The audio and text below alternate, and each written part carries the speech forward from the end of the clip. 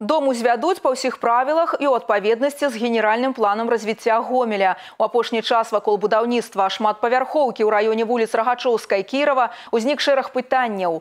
Нашы карэспандэнты адправіліся з затлумачэннем сітуацыі ў гарадское ўпраўленне камунальнага будаўніцтва.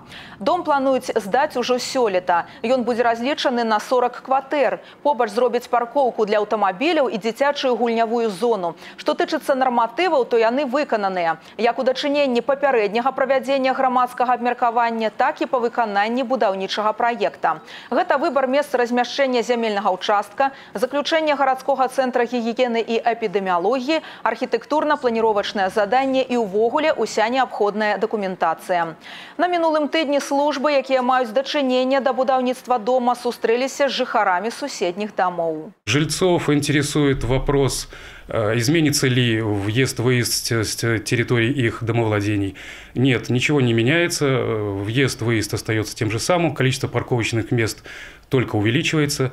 Значит, э, обеспеченность парковочными местами по данному дому составляет 57%. Это достаточно высокий процент для центра города. Также в процессе встречи с жильцами на прошлой неделе прозвучали вопросы работы башенного крана, когда он имеет право работать, при, каком, при какой силе ветра не имеет права работать.